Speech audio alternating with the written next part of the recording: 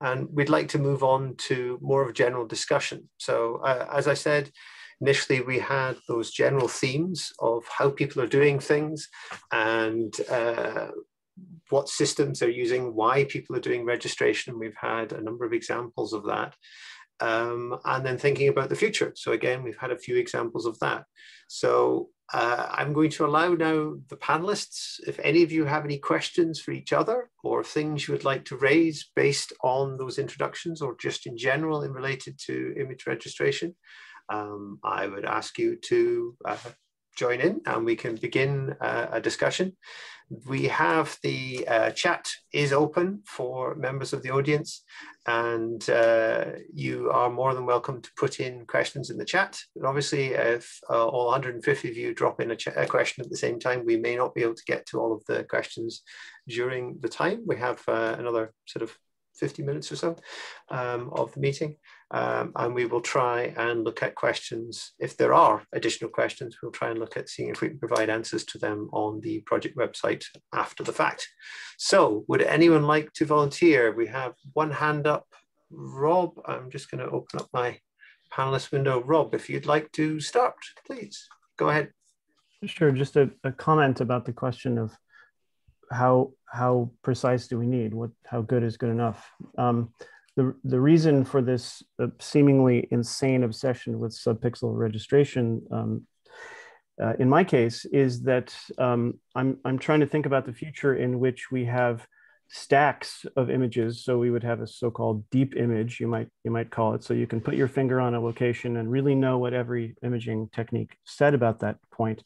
Um, and then to use this with machine learning and things like this. And, and then the problem is that if there's even a slight misregistration between these pairs of modalities, then you have a bunch of garbage pixels um, around the edge of something. For example, you know, you have a brushstroke uh, that's uh, in, in, two different imaging techniques and they're misaligned, then the pixels that are um, that are in one brushstroke uh, on, on the edge will be in the brushstroke in one image and outside of the brushstroke in the other image. And then this will give you a, a, huge amount of garbage pixels when it when you talk about gluing together, for example, hyperspectral and macro X-ray fluorescence and uh, other techniques.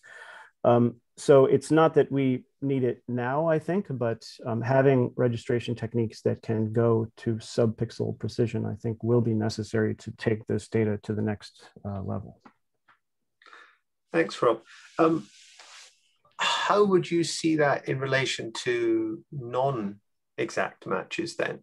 Uh, so a few of the examples that were presented were looking at, uh, say from the V&A, looking at a cartoon uh, in relation to a tapestry, in relation to that, that changed over time. So would you see these more advanced processes that you're using being appropriate for that type of process as well? Or how would you handle the fact that there isn't an exact match?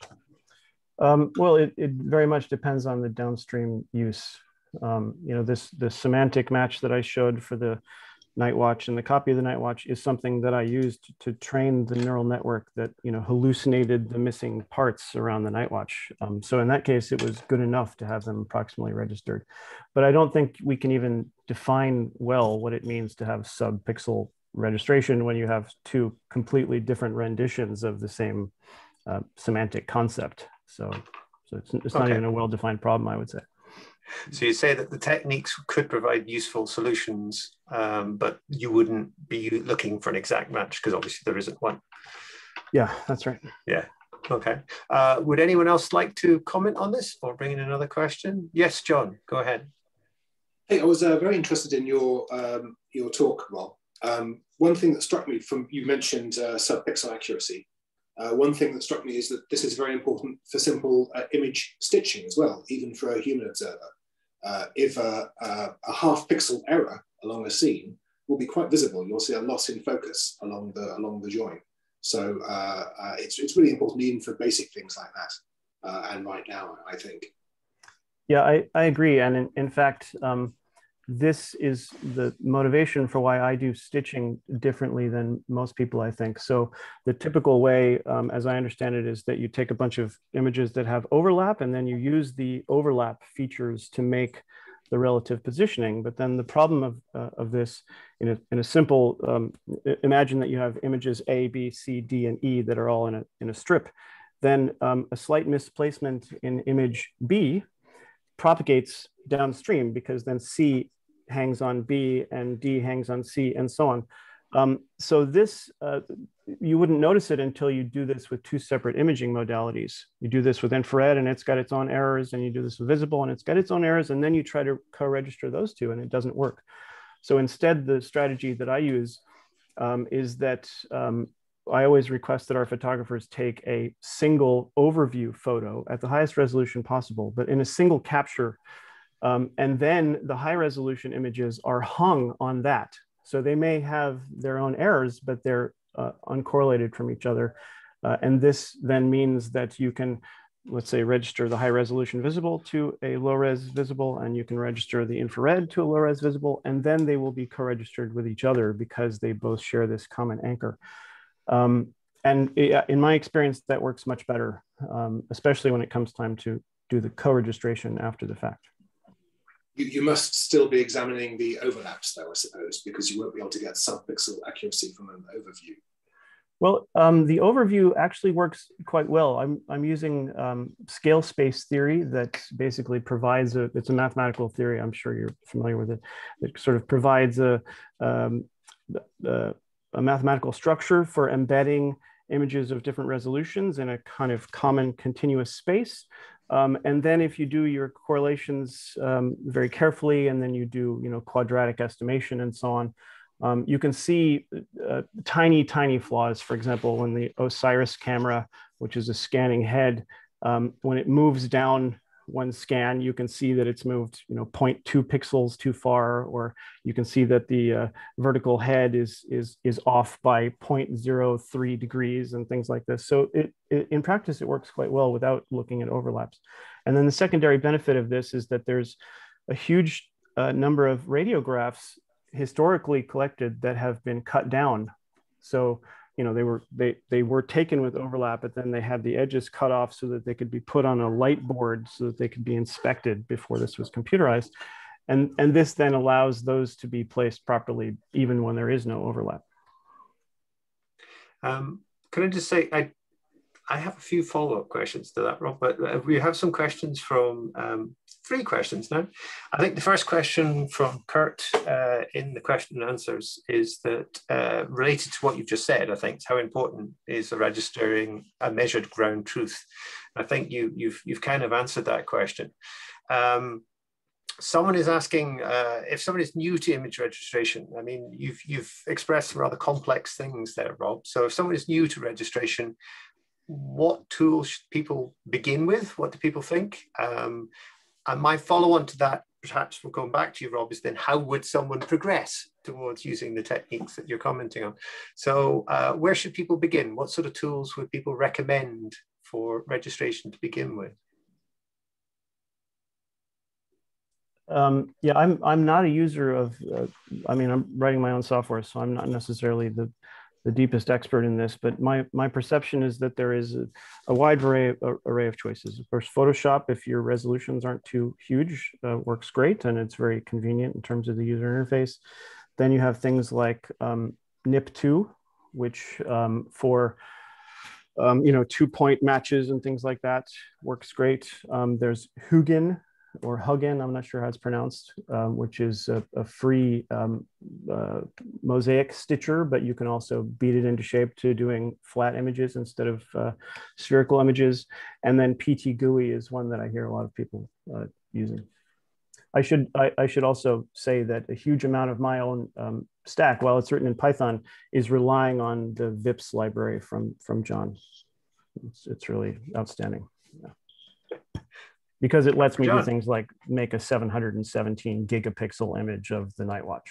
Like you can't do that with any other software as far as i know. Okay. Um, i'm assuming many other people probably don't have images of that size rob but um, i would like to have. I mean it's, it's not yet yes. Well as you saw in the example that andrew uh, presented from the photographic department he's playing with something that if we actually let him free on one of the larger paintings in the gallery, uh, we wouldn't see him for three months, but um, the resulting image would be uh, of that kind of order of magnitude. Um, I have another question here. Uh, would using a full image as a possible uh, with very large paintings? So uh, that, that kind of overall image, I think the question is, is when you take that overall image to do your high resolution matching against, how big does that single image need to be to still get that accuracy? Um, in, in my case, a factor of 20 in resolution is, um, is acceptable, though a factor of five is better. Um, I, I gave the keynote at this year's PyCon, and I talked all about making this uh, huge image of the Night Watch. And so um, they can learn more about that in detail. But an, another step that we had to do in that case was we took a 400 megapixel photo. So that's a six shot with the Hasselblad H6D. And then we measured the um, four sides and, um, um, and two diagonal corners um, to get uh, sort of fiducial mark measurements that we could use to rectify the image. Sorry, there's a, there's a bird in the canal by my house. um, uh, yeah, so that was that's good enough. But the thing is that it's not a flat object, so there is no sort of true shape in 2D. You just have to sort of pick what is what what is the thing against which everything else will be, um, to which everything will be anchored. Um, okay. Um, I, I, think sort of looking at some other questions we've got in. Um, from one anonymous attendee, one of the most challenging types of objects I deal with uh, is color field abstract paintings that don't have the same types of features present in the old masters, cracks, more obvious brushstrokes in pastels, etc. I would appreciate knowing uh, how others are or are not dealing with uh, successfully with these sorts of things. So what sorts of features are required to do image registration or are cracks and brushstrokes kind of um, the key thing being used by some of these more complex systems at the moment. Any thoughts? John? Um, if you have enough detail, of course, you'll you'll have uh, uh, features in the canvas texture you could use. But um, I beyond that, no, I, I can't really think of anything. Rob? Um, yeah, I, I, don't mean to dominate the discussion at all, but this is a problem that my software solves, and it's basically that um, the particular features are whatever the neural network finds. So there are often very strange nonlinear filters that it learns in order to, to pull out whatever faint feature is present um, in the two images in order to get, uh, to get a lock. Um, and then the rest of this is, is um, um the software basically uses a Bayesian uh, technique with some regularizers so that if there are regions where you, you sort of lose sight of how they match, that you can do an intelligent job of filling it in by using the places where they do match. So sort of robust, smooth estimation for you know making a sparse match into a dense match. Okay. I haven't um, found a kind um, of images, a pair of images that I can't register with this uh, approach yet. Okay. Uh, well, hopefully that's answered that question. Um, uh, Adam? Sorry, Adam?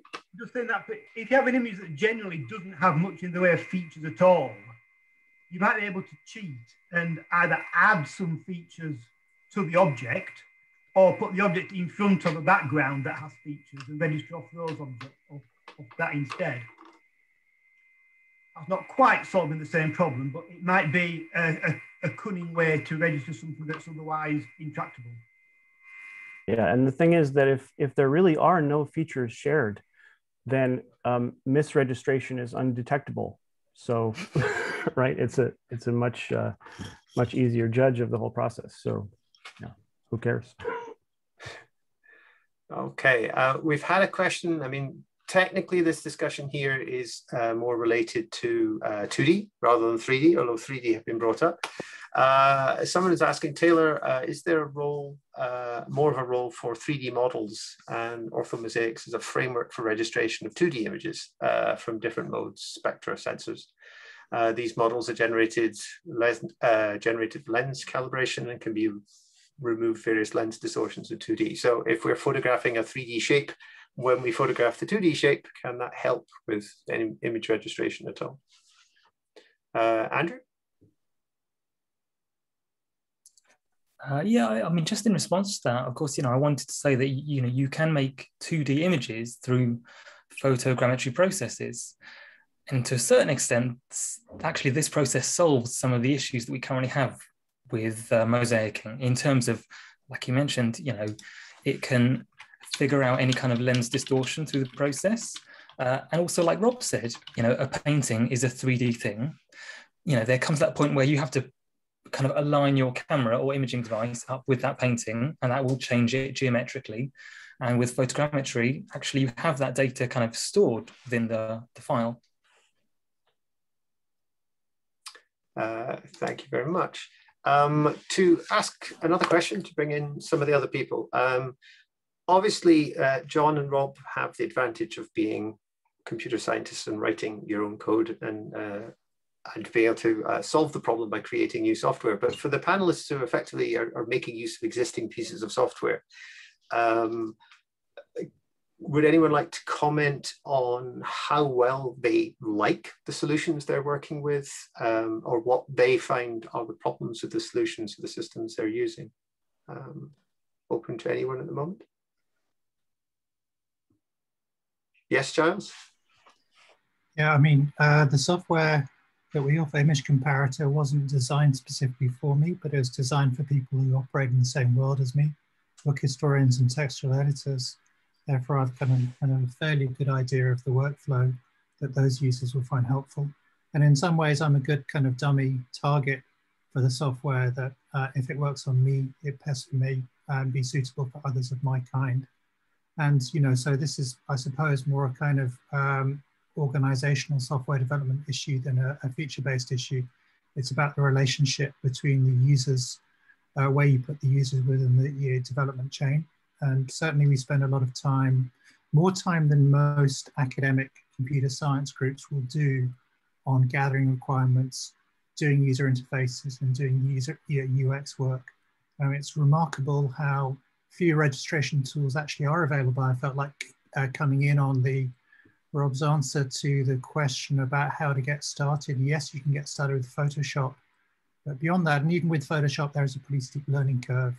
So we certainly aim to kind of uh, push out solutions as far as possible uh, for kind of essentially mercenary reasons because we want to have impact. And uh, you know, you can't have much impact if you're only addressing other computer scientists. Thank you. Ryan, I think you were next. Uh, yeah, I would also just say to add to the software that is available for registration, one uh, that hasn't been mentioned yet is ImageJ with the biomedical imaging for Java toolkit.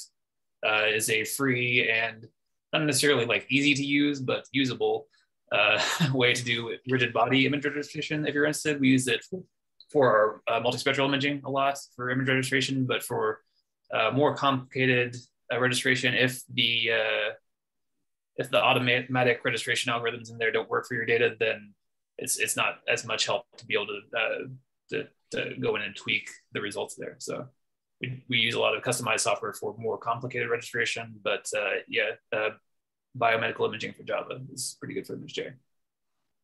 Thank you, Ryan. Uh, Nathan, I think you were next. Sure. Um, just to say, so um, with our MacroXRF data cubes, the way we tend to work is we pull out fitted image slices um, and then work with those. And we use NIP2, uh, which works great for that. But in some ways, this kind of builds off of what Rob was mentioning about trying to fuse, for example, hyperspectral and macroXRF scanning data cubes. We still want to work with the cube itself and look at it spectrally. So we are looking for ways to do this on full data cubes rather than images we pull out of them. Um, and there are tools to do that for hyperspectral imaging. Um, but not so far for XRF. And part of the inherent problem of that is any one slice in an XRF cube, uh, it's very noisy. The signal is not great for, for doing registration, which is part of the reason why we sort of pull out these fitted images. Um, but we are looking potentially to, to um, find ways of, of keeping the, maintaining the integrity of that full XRF data cube uh, after registration as well. Uh, Rob, I think you were next. Um, yeah, actually, to to um, follow on what Nathan just said, um, I, I find um, that without doing anything fancy, just uh, often with a painting, taking the uh, iron map or the lead map is good enough. Um, and then um, when you're using something like VIPS, it's quite easy. When, when you get your deformation map, whether that's a rigid homography or just rotation scaling or, or even something very fancy, then whatever you've learned for this proxy image, the lead image or the iron image or whatever, you can then just directly apply that coordinate transformation to the whole stack, to a hyperspectral stack that has 600 channels or 4096 channels if you're using the raw XRF energy data. Um, and that seems to work pretty well. Um, and then uh, another uh, piece of software that I've uh, forgot to mention is Inkscape. If you don't need anything really fancy, Inkscape I find to be much more intuitive and easy to use than Photoshop. So um, Inkscape is actually the front end for um, my image processing workflow. I, I start by bringing little proxy images into Inkscape, and then you can make them opaque and rotate and scale them and group them and nice things. And then um, this SVG format is read by the rest of my software as the sort of starting point of what images are we looking at and, and so on. So it's, and it's completely free. Um, and I would also add that I, uh, it will be a long time until it's released, but I'm working on a web-based um, workflow that will use uh, drag and drop and these sorts of things um, for image registration. Thank you, Rob. Uh, Joanne? Hi. Um, I just wanted to say from, from, from a, a lower tech point of view, um, I'm very happy with NIP2, which I, I, I use to, to do image registration. But I think a very important step in, in my work is actually the acquisition step. Um, so that's something to consider. I think a lot of people have got round uh, uh, registration of multi-band images by using specialized lenses, which make uh, the job easier. Uh, if you don't have that from a lower tech point of view, it can get tricky. So I think acquisition is a very important step not to be overlooked in this as well. Thank you very much, Joanne. Uh, I think Charlie, you were next. Oh yeah, just to add, um, so I use MATLAB for a fair bit of my registration. They've got quite a few nice tutorials to follow on their website as well. If anyone, it's kind of entry level um, kind of programming starter sort of point, I suppose. But it's not it's not that easy to do kind of mosaicing stuff with it. But if you want to have different layers of different wavelengths or something to to mosaic or to align, um, I found that quite useful. And there's also a a kind of third party toolbox, which is the image alignment toolbox, which can do a bit more advanced stuff. I just thought I'd throw that in. Thank you, Charlie. Uh, John? Well, I just wanted to, to, to, follow up on something Rob was saying. It, it, can be very helpful to think of registration as occurring in two stages. Uh, first, you derive a transform, which will go from one image to the other. And then secondly, you, you apply that transform to the source image. Uh, and if you think of the um, registration as being the process of finding a transform rather than simply the process of directly aligning two images, you can do things like applying the transform that you learned on one pair of images to another pair of images. It makes the whole thing much more flexible. So thinking in terms of IIIF, one useful thing to think about for the future might be a way to represent transforms within the IIIF framework rather than uh, thinking about registering images directly. That would be a uh, that would be something uh, very uh, very useful, I think, to, to, look at. Thank you, John. Uh, I think I think there's a few experiments have been tried with IIIF with basic stuff. So doing scale comparison, I think some people have been doing some experiments with that. Um, and translation and offset. Uh, the example that Luca was providing does some of those things as well. Yes, it has. But yes. It has this yeah, and uh, translation as well. Yeah, it has some of these uh, basic, uh, like an affine style transform uh, yeah. things in, but something more complex would be would be uh, very, very, nice, potentially very useful, particularly yeah. like uh, um, piecewise piecewise transforms of the sort yeah. that Rob was talking about because we, we did discuss, I mean, IIIF, the, the standard allows you to describe the, the key metadata of images and sets of images. So the ability to say this set of images are registered together and this is the transform required for each of these images to master would, would be a lovely way of doing it. Because then you wouldn't need to create all the, the surrogates or, or derivative images. Um, it would be, yeah, very nice. And when you're looking at what was it you said 700 gigabytes rob for the the night watch then that would be quite nice not to have to have lots of images of that size. 700 gigapixels 5.6 terabytes yeah. Okay even bigger yes okay um i see i'm losing track here uh, maria i think you were next and then rob Thank you very much. Um, yeah, I I would like to follow up a little bit on a on, on one of the already answered comments or uh, questions. Sorry, about the um, let's say the aspect of registering images when they don't have the similar the same features, and that's kind of what I'm working with when I was trying to present the work with mutual information and using tools in the medical imaging industry. That uh, yeah, that, that would be a way to go. You, clearly, it might be a little bit more uh, code heavy. It's not probably as simple as using Photoshop if you don't have features as what to use as anchor points, basically. But um, but actually, I don't know. I'm, I mean, maybe if I got it right, most presenters are working with with feature detection, feature detection, which actually caught my attention. Um, and maybe this is, I don't know, of all the brilliant work that uh, you guys all presented today. Like I, I have a pile of questions for everybody, but maybe would like to um, to ask Rob Erdmann on uh, expanding a little bit the semantic registration aspect of your work. Like, do you work with uh, feature detection as well, or do you ever look at the general structure of the image? Like, as in medical imaging, you would look at the, um, at the anatomical structures.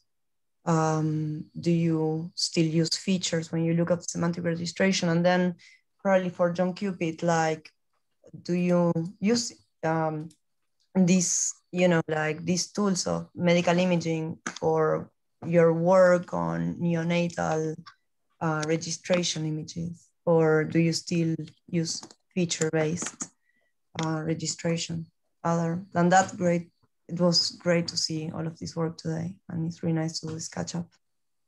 Okay, thank you, Maria. If Rob, if you'd like to, yeah, you sure. your hand up first. If you'd like um, to respond and make your point. Yeah, I can. I'll happy happily respond first. Um, so for the um, yeah for for registration semantic registration I I have sort of two techniques. And the simplest one that is really just two lines of Python off the shelf with modern neural network libraries is if you take a um, a classification based network ResNet 50 or something like that that's trained to identify objects in in photos then um, you know that those neural networks have a layer structure. And so what comes in one end is just the raw pixels. And then at each subsequent layer we have a higher and higher level of uh, sort of semantic content. So we have cooperation of uh, pixels gives you things like the uh, Gabor wavelets, you know, oriented, uh, uh, spaced um, uh, uh, stripes, and then those combine to make um, textures, and those combine to make patterns, and those combine to make parts, and those combine to make. So if you look at the features that are coming out of the uh, the second to the last layer of the neural network, you know, not the classification layer, but so cut that off, cut cut off the head, then that layer is actually really excellent. Um, for semantic registration. So you can basically compute this densely across a pair of images and just just doing you know straight dot products between these features or distances between the features will do a really surprisingly excellent job at uh, making the semantic match between the two. Um, and, and, so it's really just like two lines load neural network cut off the head um, and that's one line and then run my image through and get a stack of features. So your your your image becomes um, uh, lower resolution, but it now has 500 channels or 2000 channels. And those are the sort of semantic channels if you, if you want. Sorry, just to, just to understand, just to see if I understood correctly. So effectively you're performing the registration with the, with, yeah, with the layers that are past the initial input. Let's say once you have the convolutional layers, you're performing there your registration effectively. Well, um, this, this is used to find um, you might say this is a feature-based approach where now the features are semantic features. and then from and then you can just you know uh, substitute the sort of standard pipeline at that point where you have you know RANSAC with you know point matches or MAGSAC or whatever you you prefer. Um, that will get you up to some point. And then and then another stage is to actually train neural networks based upon semantic matches from from um, stereo pairs. So you can get a neural network that's good at seeing because you know the truth how a left how two pictures that are similar but different relate to each other. Um, yeah, there's some nice work out of Berkeley too, where they've done like a, uh, they've got a Cranach data set where they've manually um, marked uh, repeating motifs throughout Cranach, and then this is used to teach a neural network how to find uh, semantic matches in, in uh, uh, artistic depictions. Thank you. Thank you. Uh, John, did you want to respond or do you? Oh, um, well, I suppose uh, so. Brain images aren't very much like paintings in that the things are soft, squishy, and change shape as the person grows and ages and so on.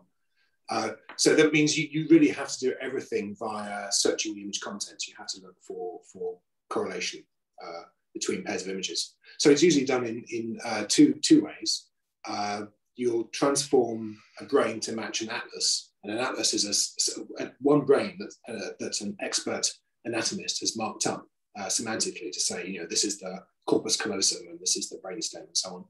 Uh, so you find that transform, and then you take the atlas back onto the image and you use that to mark up brain regions, so you know semantically which bits are what. Uh, and then when you try to align to uh, brain volumes, can use this semantic labeling of the of the brain to, to, to drive the, uh, the, the deduction of the transform that will move two dissimilar brains together. Uh, and there are lots of fancy tricks uh, that people use. I had to read a paper called uh, Diffeomorphic Homologous Reversible Transforms on uh, log Euclidean manifolds. Uh, I almost I almost died. It was awful, uh, but that's the kind of thing you have to read, unfortunately, to uh, follow medical imaging at the moment. It's absolutely dreadful.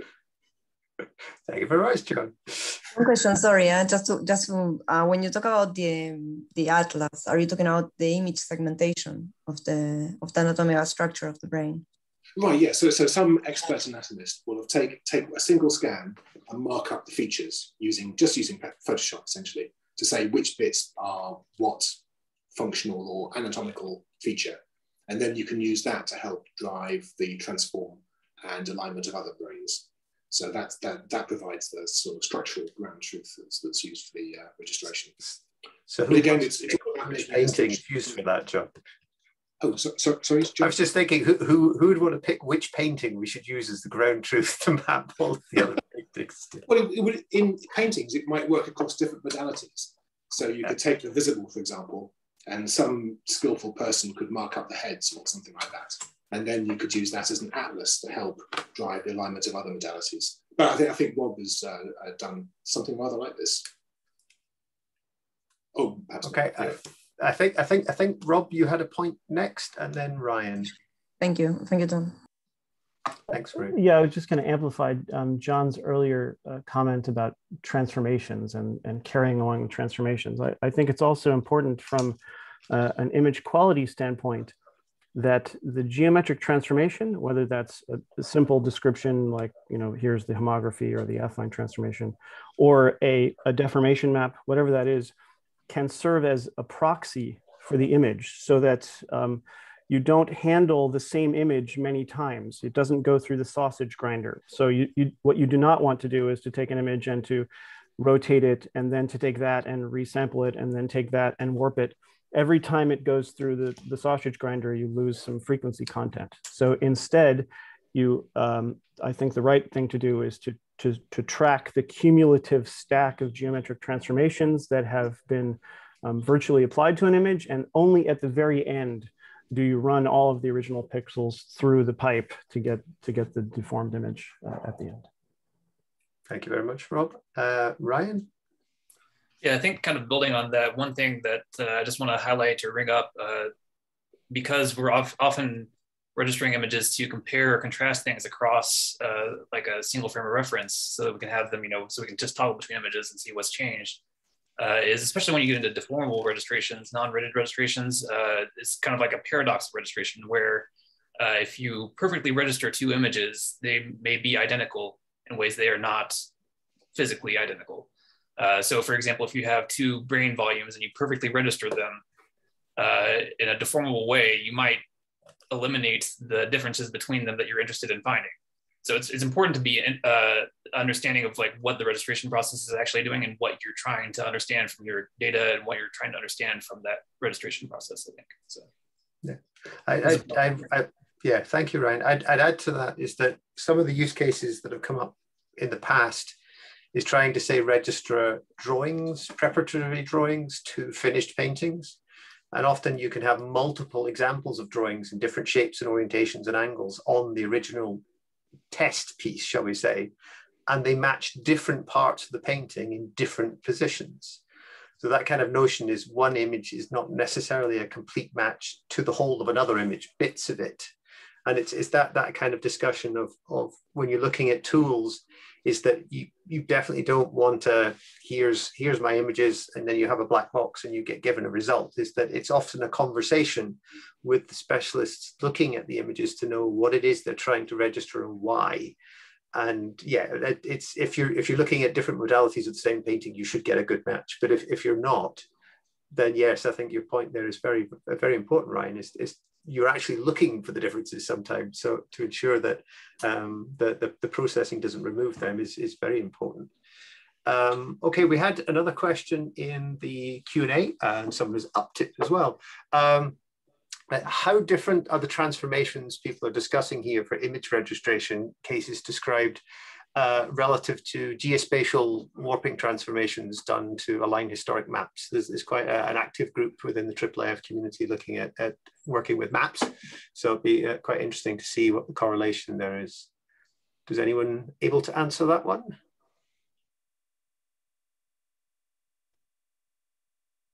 Rob? Yeah, I was going to say that it, it's my perception that the transformations we would usually use in, in the context of imaging um, paintings, let's say, are simpler than um, old maps, for example, because old maps have lots of weird distortions and they're often not metrically correct and except very approximately. Um, so with a good, well-calibrated lens and everything else, then um, mostly just homographies, which is to say um, the ways that images are warped when you move the camera are, are enough and probably not enough in the map context, I would guess. All right, uh, thank you very much. Um, we have one other question. Um, let's see. Deep learning techniques exist for predicting fluorescent stains from bright field images in cellular microscopy. Now, this will be obviously for the medical imaging people, uh, but two modalities do not always have obvious shared features. So training the DNN with fluorescent images that are not well registered to their bright field counterparts can lead to errors. Uh, what would be the best way to achieve better registration? Couldn't answer that question myself, but if anyone else uh, can, that's uh... John. Any thoughts? I'm very sorry. I've not worked with uh, uh, fluorescence microscopy. I, I couldn't really comment.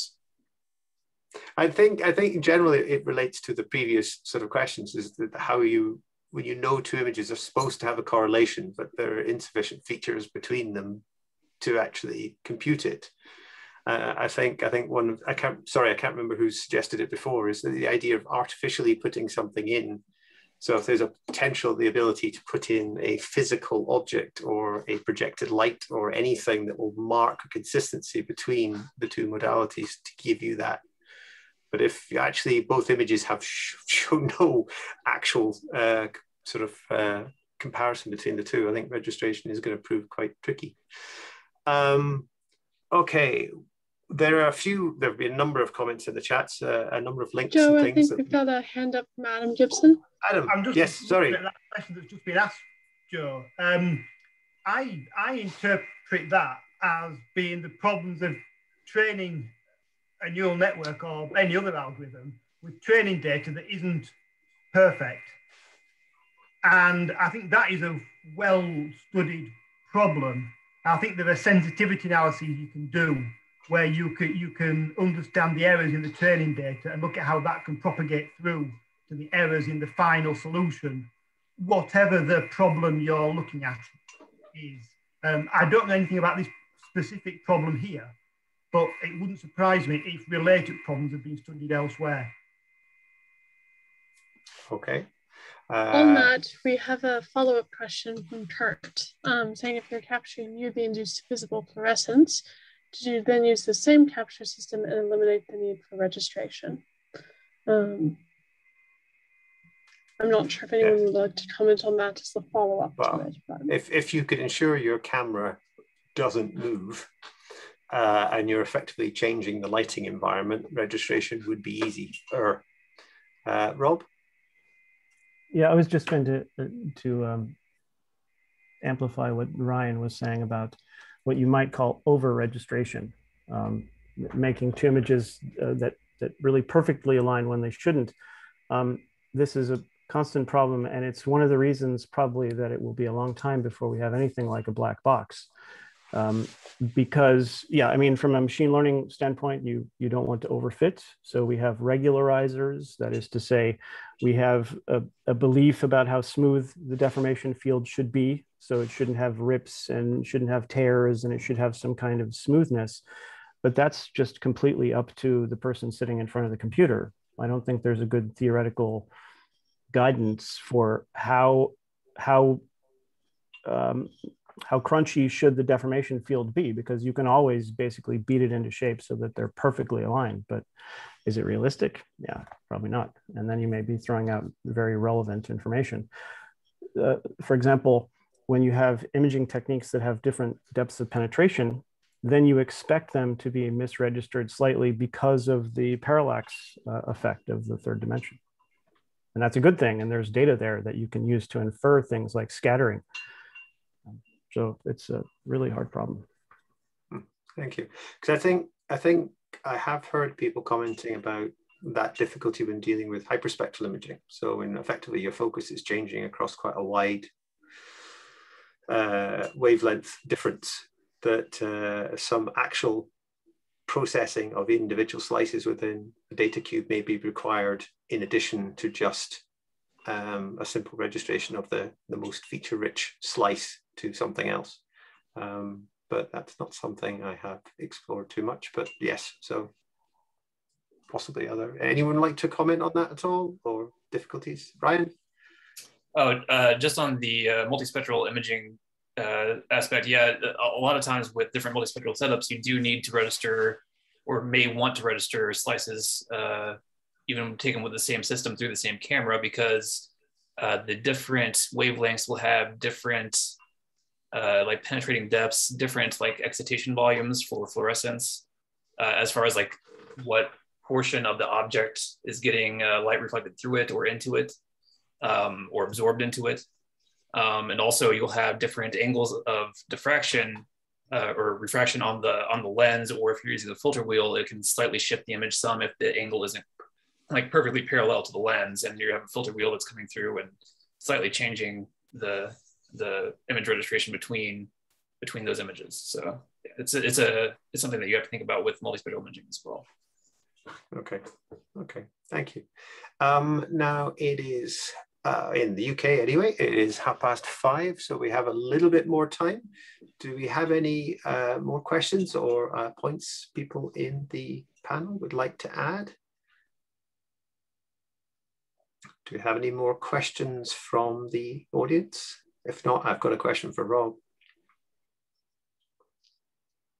No, okay, I'll ask my question, Rob. You mentioned in passing there that you're working on um, a web-based interface to the toolkits. Yeah. I mean, effectively, a number of other people are discussing the various bits of software they use, but you've given some extremely nice examples. So what I was wondering is how complex would it be for other people to test it, and what sort of time frame roughly? Are we talking years, months, days, minutes, hours? Um, just roughly. I'm just curious. Yeah, it's it's always three years away. Uh, um, it, yeah, it's it's um, it's a, a, a lot of pain. I mean, it, it, developing user interfaces is really um, a whole extra level of painful, of course, um, as Giles uh, has experienced, I think. Um, uh, yeah, there's a saying in user interface design that it's impossible to make anything foolproof because fools are so ingenious. Um, uh, and, and, and the basis of that is just that um, as one who uses the software and who's very deep into it, there's a whole other level of making it so that it's well understood, um, so that it's intuitive, so that it's robust. Um, and, and this now involves multiple uh, programming languages too, because now you have a, a, JavaScript side of things. And then we're not going to be doing the computations, uh, at least in my case, inside the browser because I need a GPU ideally. So this means then having a, a back end and a live connection between the two. Um, so yeah, uh, maybe a couple years for a prototype. And uh, if people would like to test it, they're welcome to contact me. But I, I can't make any promises because, like I said, it's, it's perpetually three years in the yeah. future. This this uh, this is sort of off topic slightly. Uh, have you considered the notion of setting it up as a service? So I'm involved in a number of EU projects related to the European Open Science Cloud and these sorts of things, where potentially you can say, "Oh, can I borrow some supercomputing for a few minutes and process my images?" So could you sort of see it being dealt with with that type of solution? Or? Oh yeah, yeah, definitely. I mean the the big the, the, the, computation is not so bad anymore. In fact, you can get you know free uh, GPUs from Google without much trouble, and so running the service wouldn't be so hard. Uh, the bandwidth is the is the main trouble in insofar as uploading the images, you know, because these yeah. are these are heavy heavy images, and so um, viewing them is no big deal because then um, your screen is basically the bottleneck. You know, there's only 4 million pixels that you ever have to show at once, but to actually get these big images up into the cloud um, so that you're doing all the heavy lifting there is going to it's going to be a pain. So I'm not I'm not quite sure what the right answer is there. Um, maybe internet speeds will become fast enough that it that it becomes feasible, or maybe you'll just have to have your images uh, locally and then you could mount them from the cloud somehow or something. I, I don't really know maybe John has thoughts about John? that. Oh, I was only going to say that uh, although I think you're right, Rob, you'll need a powerful GPU to derive the transforms. Once they've been derived, there's uh, not very much computation left to do. And there it is feasible to do it in, in, in a browser. Oh, yeah, for sure. Um, yeah, I agree. And yeah. uh, you can do things like um, fetching sections of the transform on demand as well. So, which I've actually done in other projects. So I, I think you, you could probably probably handle all that. Yeah, I mean, my my own viewer has um, has a, a, homography ability built in, so it, you you can you can have a, an arbitrary homography between pairs of images. Um, but the, the the problem I was addressing was um, uh, I'm I'm a user and I have a stack of visible and a stack of infrared and a stack of X-rays, and I want them to all come together um, into a, a nice stack. How do I do that? Um, that's that's what I'm trying to solve with my software, and and turning that into a cloud service is is then hard, I think. But but it certainly I do envision it within the Rijksmuseum, for example, that you know I have a powerful computer under my desk, and then my colleagues would have the URL to an internal link. Um, and there's a shared file system behind the scenes. We have a sort of research network. So then someone could put their images on this shared file server and then um, use the GPUs under my desk while they um, uh, manipulate the images and ultimately view them through their own browser. Okay. Thank you. Um, we've had a couple of extra questions. It's a question from Richard, which I'll come back to uh, before we finish, but um, we've had one question about PTGUI, uh, sort of translating this to be slightly more generic. So not speaking to John and Rob here, because obviously the answer is you write new software. Um, how many people have had the opportunity to interact with software developers to say, like, PTGUI is great, but it doesn't do X, Y, and Z? Are there any possibilities that PTGUI could be changed? Um, Andrew, I think you had your hand up before I started talking, but did you want to answer that or? I just wanted to say, you know, obviously we, have actually spoken a lot about incredibly complex um, transformations, processes, um, developing software. you know, would I recommend using PTGUI as a kind of starter? Well, yeah, hugely. It's it's a really wonderful piece of software which you can make 10 gigapixel files on a laptop. Honestly, um, you know, I have spoken to the developers, and you know, we are an incredibly small kind of market for them. And I guess their answer is that actually, you know, there are I think about four steps that you can do, which will make it work very well for the kind of mosaicing that I do. Um, but like I said, you know, it, it's not. It's it's definitely a workaround, and it means that we spend a lot of time kind of wrestling to make it do what we want. Uh, Maria, did you want to add? Actually, it's more, yeah, it's more like a like like something that it occurred to me talking about time, and it's a nice, um, how to say, like Jason with the comment of Andrew just now that um, we are all talking about different ways of how to say um, doing the registration. But one thing that occurred to me, because specifically is my one of my concerns in my research, is basically I wanted to have um, I don't know like a feeling of how long do you take to do your registrations, either if that's manually or computationally, like in on average, basically to have a feel on on general. Now this is an open question to all of the presenters.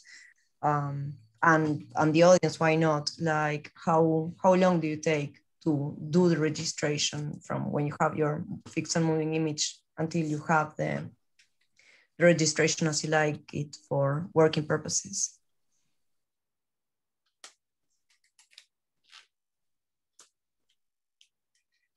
less time than I did, and probably slightly more time than I should have done. Um, I, I, think it's it's. I, am not sure if anyone else wants to answer. It's, it's quite a tricky question because, well, a I haven't done registration for a little while, but it comes down to the purpose of the registration. So if the registration is for someone to have a quick look at something, then um, five ten minutes. If actually you're looking at a publication or wanting to do deep sort of comp, you know, actually any mathematical comparison or looking at sort of to try and infer more complex things behind it, then longer. Uh, I think it's it's how long's a piece of string answer, but uh, I guess the required time hopefully is diminishing, um, and a number of the suggestions that have been put forward in different pieces of software will be decreasing that. So it should be minutes. Um, I do remember spending hours on this type of thing in years gone by, uh, but I would have thought it should be minutes, if not less, these days, if possible.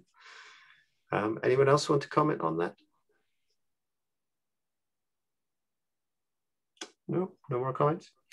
Okay. Um, the last thing I was wanting to say, uh, and people can, we are planning to send uh, emails round to all of the people registered to ask similar questions to this. But uh, uh, Richard has put forward the question is what kind of forum stroke project is there to continue this discussion? uh, perhaps with an eye to standardization of what can be done.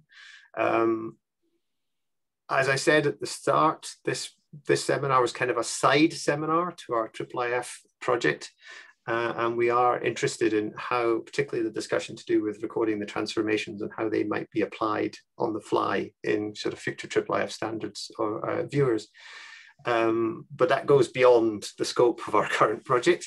Um, but the IIIF consortium as a whole is quite a big, very friendly family. Um, and uh, I think the it may well be some discussions about how transformation uh, metrics can be applied in IIIF browsers or how best to relate that to the IIIF standard may well be able to continue within the IIIF consortium itself, uh, potentially within uh, a technical group.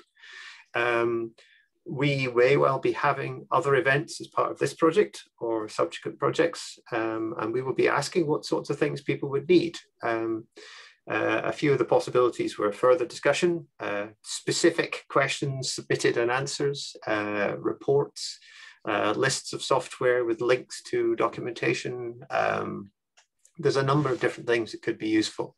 Uh, I think we've had some examples of a number of different ways of doing registration here from uh, the simple sort of looking at it backwards and forwards to um, much more complex processes using AI and uh, uh, other more computationally intensive approaches. So I think there are two issues here. There's one, what can I do now? And what would I like to do in the future? And I think a number of people have mentioned ensuring that the quality of the images you capture in the first place is as high, is as realistic at the time you're capturing them is always a good strong point to start with. Um, and you may well be able to apply better registration software in the future. Um, but we are going to send these questions around to see what sorts of things people would like next or we could get out next, um, some of which we might be able to help with with our project um, and some of which may well need to be handed on for other projects. At the moment, we're happy to receive questions. We may not be able to answer them um, and then pass them on uh, as another forum develops. Um, but as I said, is it, when it comes to the sort of IIIF standard, um, the actual IIIF community itself may well be a good place to have those discussions. Uh, there are larger uh, entities, shall we say, uh, within the heritage environment. Uh, and one of them may well be E-RIHS, which is the European Research Infrastructure Heritage Science. And it might be possible that that type of entity in the future might be able to act as a starting point when people are trying to answer these sorts of questions, but um, it, it's not solved yet. But if people have suggestions or forums that we could uh, let people know about, please do let us know and we can add them to um, our project website and give people directions on where they might be able to go. Um, I would like to say now we've reached sort of the end of our time. Um, a very big thank you to all of the panelists um, and for your answers uh, and questions and discussions.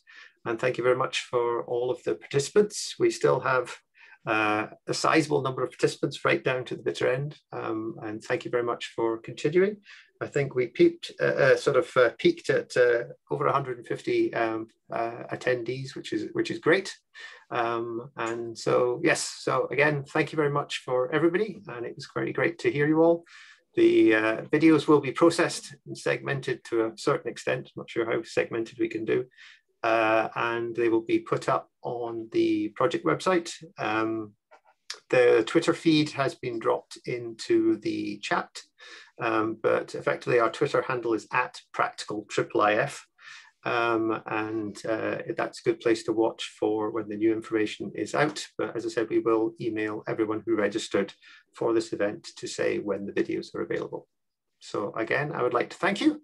Um, and if no one has any last comments they'd like to make, um, I think we're able to draw the meeting to a close.